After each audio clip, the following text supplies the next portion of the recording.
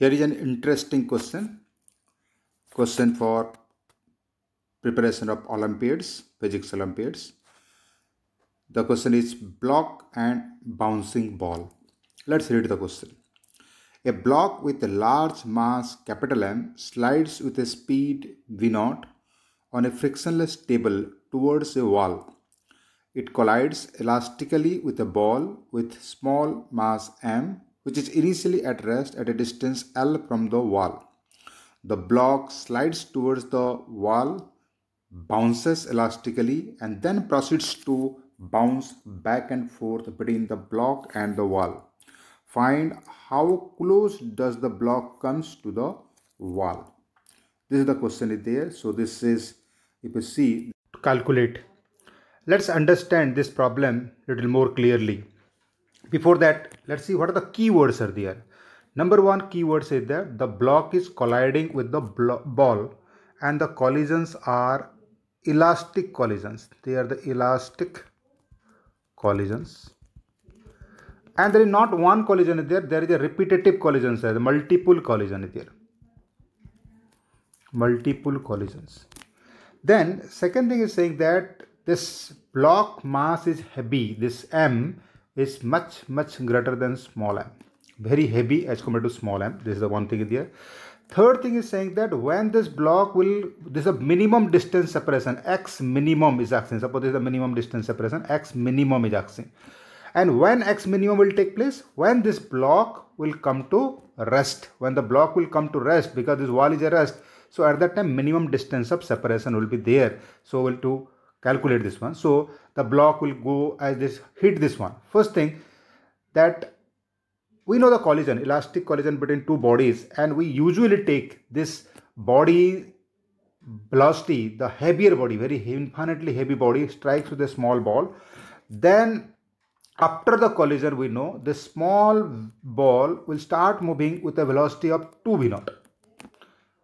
And this block velocity won't change appreciably. It will remain unchanged, nearly unchanged. In case of elastic head-on collision between the heavier body and a lighter body, we know this thing. But in this case, the velocity won't change in a one collision. But it really does not remain constant. It changes because the block apply the impulse on the small block. So its velocity increases. Small block apply impulse on the the block small ball ball apply on the block. So its velocity decreases. But decrease is very very small in one collision big equal because the capital M is very very high.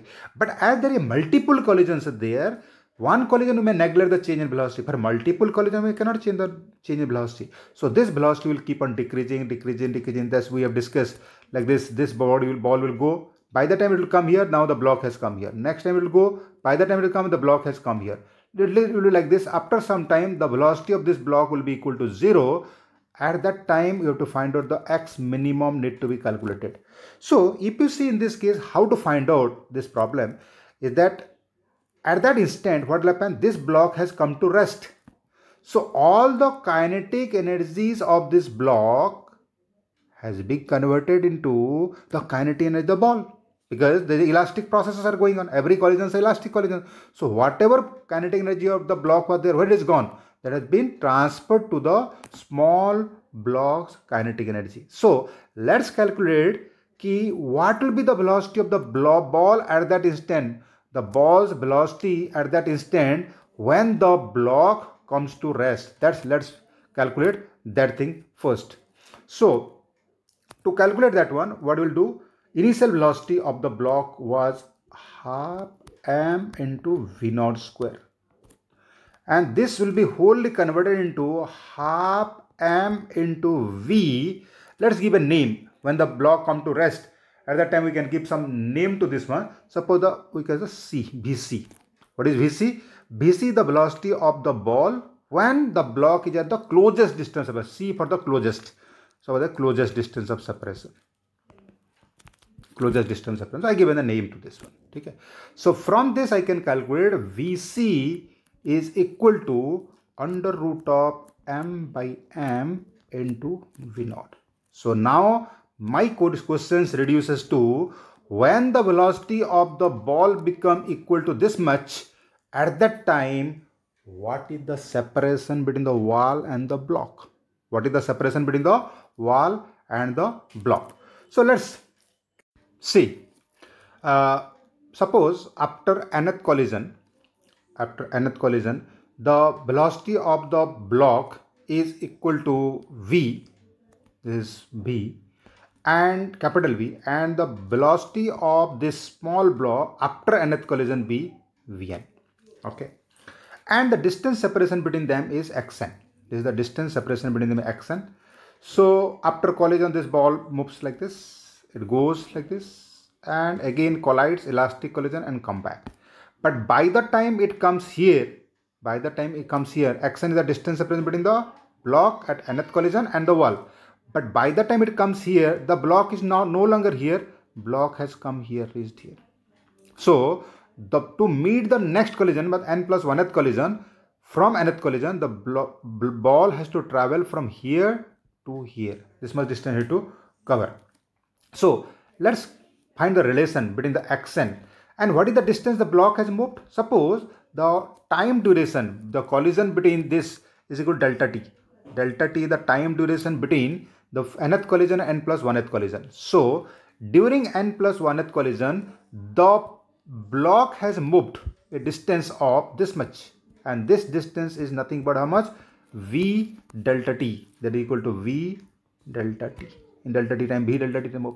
So this distance is v delta t and this distance is xn. So total equal to xn. So i will calculate the value of what is this relation between this v, v delta t and xn. If you see this you want to calculate this one then by the, the, during that time the ball has traveled from here to here it has traveled. And with a constant speed so the ball this block has traveled v delta t distance but the ball has traveled a distance of small v n into delta t. Ball has traveled small v n. So what is v dn this is the v n into delta t. And what is capital v delta this is the thing. If I add this with this. What will get? This plus this plus this. To equal to total 2 xn's will be there. So let's see and calculate this value. So I can write 2xn from here to here this total distance 2xn from this to this is nothing but vn delta t.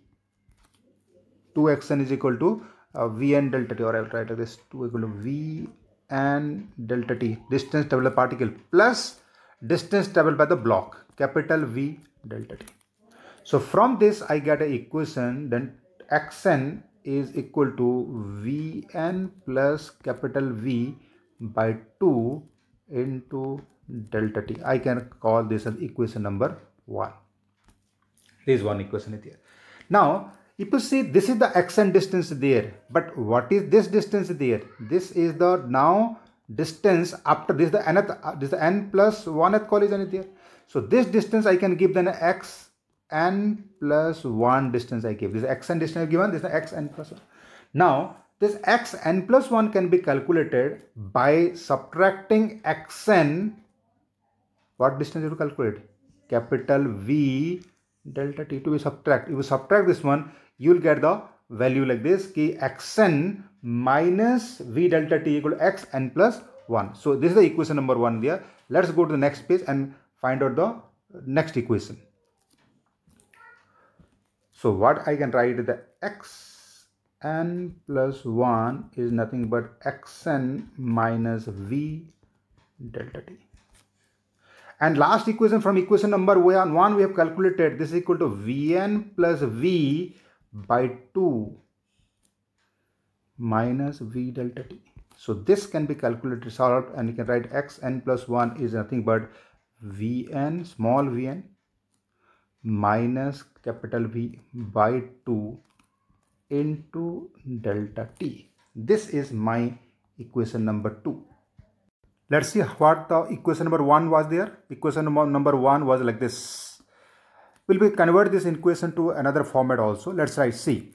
So before n plus 1th collision, the block was here and the particle was here. The block was moving with the velocity v and the particle was moving with a velocity vn. But just after collision, the velocity of block is capital V because in one collision, infinite mass is there, very large mass is there, velocity will not change appreciably, the will be V. But the velocity, the particle started moving with a velocity, new velocity, we give the name n plus 1, V n plus 1. So from the elastic collision or collision E value is equal to 1, E equation will put and velocity approach is equal to velocity of separation. I can write Vn plus V was the velocity of approach should be equal to Vn plus 1 minus V is the velocity of separation. If this value I'll take and substitute in this equation, I will take this value and substitute in the above equation, I will get the answer like this equal to xn is equal to vn plus 1 minus v by 2 into delta t. So two equations I got. One is for x n here and x n plus 1 in the equation number 2. This is the equation number 1 I can revise equation number 1 I can say. So these two equations we'll see and what can we derive we'll check in the next page. So these are the two equations we got from equation 1 and 2. From this we can get delta t is equal to x n divided by v n plus 1 minus v.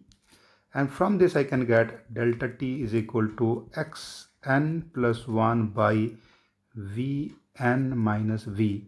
From these two equations, if I equate the time, then I can get that x n by vn plus 1 minus v is equal to x n plus 1 by vn minus v. So if I take cross multiply, I got the equation x n into vn minus v is equal to x n plus 1 into vn plus 1 minus v. I say this is equal to constant quantity. Why I am saying constant quantity? Let's see.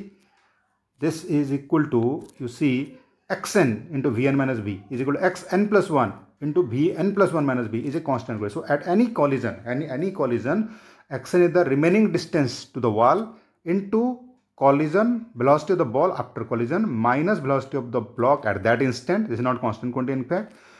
And this is a constant quantity. This relation is a very, very important relation we get. So we need to calculate this value of constant. What will be the value of constant will be finding out. So once we get the value of constant C, then we can easily calculate. So what is C there that we want to find out?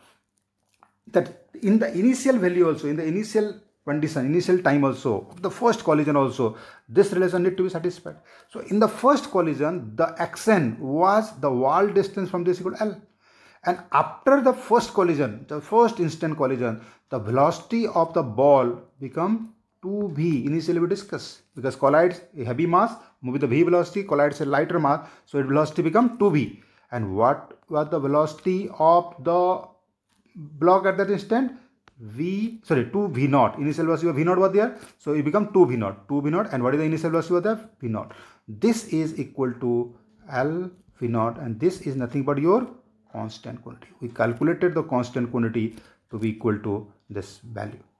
Okay, so we got that this is a constant quantity. What is this multiplication will be there? We calculated. Now this same relation, this relation also will be valid. This relation has to be valid at any instant. So this will be also be valid at the instant of x. So at the time of x minimum, this equation has to be satisfied. So x minimum into the velocity of the body at that instant. We have taken the given Vc. We have given the initially Vc minus the velocity of the block at that time. This is the velocity of ball. This is the velocity of block. Also should be equal to this constant quantity. This is C our C must be equal to L V naught.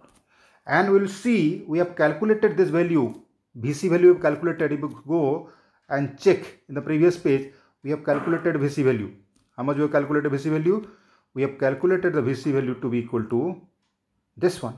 We have calculated Vc equal to under root m by m into V naught. We will take and substitute here. Then we get the equation.